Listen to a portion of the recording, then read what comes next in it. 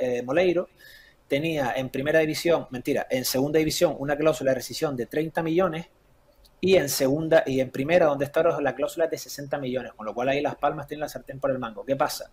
Que Las Palmas y el Barça estaban negociando una fórmula de traspaso parecida a la que hay con Pedri, porque Las Palmas sigue cobrando por Pedri todavía. Entonces eh, eran pluses muy fáciles de cumplir eh, si nos fiamos del talento de Moleiro, que es una auténtica locura.